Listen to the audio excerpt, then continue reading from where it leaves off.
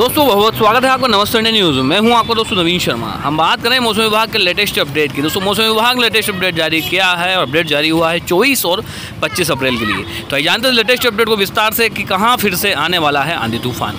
दोस्तों, वीडियो शुरू करने से पहले कहना चाहूँगा, आपने चैनल सब्सक्राइब नहीं किया, सब्सक्राइब कर ले, मोबाइल आइकन दबाने, इस अपडेट रहें आप जिसकी सभी कैटेगरी की अपडेट एवं अलर्ट खबरों से। दोस्तों मौसम विभाग ने अपडेट जारी कर दिया है और राजस्थान में फिर पलटने वाला है मौसम। 50 किलोमीटर की रफ्तार से धूल भरी आंधी और बारिश की आशंका।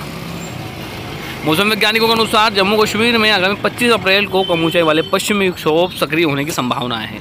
प्रदेश में एक बार फिर से आंधी दस्तक दे सकती है।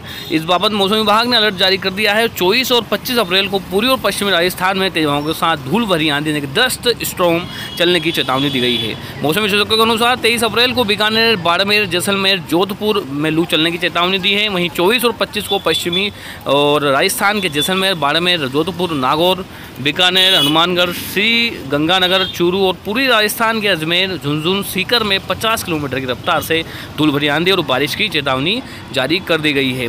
दोस्तों मौसम विभाग ने चेतावनी खासकर राजस्थान के लिए जारी की है। आसपास के क्षेत्र भी इससे प्रभावित होंगे।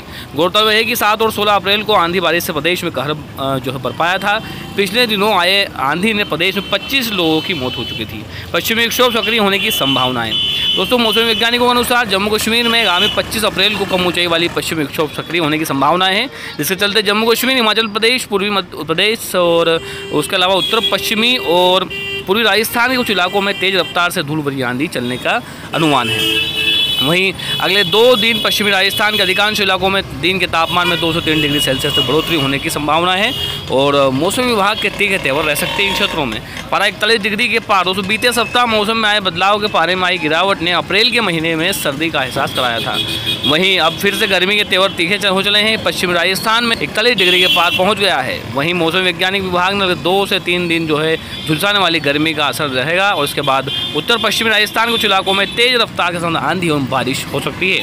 दोस्तों बीते 24 घंटों में बीकानेर रोजपुर जैसलमेर और चूरू में दिन का तापमान 40 डिग्री से ज़्यादा दर्ज हुआ था।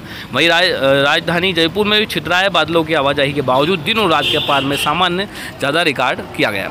वहीं राजधानी में बीते दो दिन में फिर से पारे से रफ्तार पकड़ ली है। शहर में आज सुबह छः बजे सत्ताईस डिग्री सेल्सियस अधिकतम तापमान रिकॉर्ड हुआ। आज सुबह शहर में छित्र बादलों की आवाजाही ज़रूर रही। लेकिन सूर्योदय के साथ ही धूप भी तपिश भी महसूस होने लगी। राजस्थानीय मौसम केंद्र के अनुसार राजधानी में आज छितराए बादल छाए रहने और दिन का तापमान 40 डिग्री सेल्सियस रहने की संभावना है। तो दोस्तों, लेटेस्ट अपडेट मौसम विभाग का इस वीडियो को आप इसे शेयर करें ताकि सब लोग जान सके मौसम विभाग के लेटेस्ट अपडेट को सावधान सतर्क रह सके। इस वीडियो में इतना ही। फिर आपके लिए उपस्थित होंगे जानकारी के साथ। तब तक लिए दोस्तों, खुश रहिए, स्वस्थ रहिए। नमस्ते, इंडिया।